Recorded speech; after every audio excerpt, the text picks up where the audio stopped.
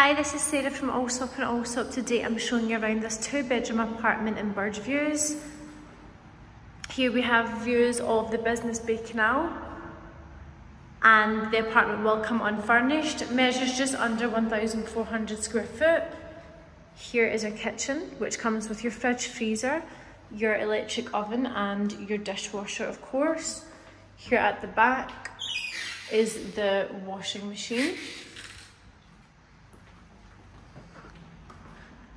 Here we have our guest bathroom.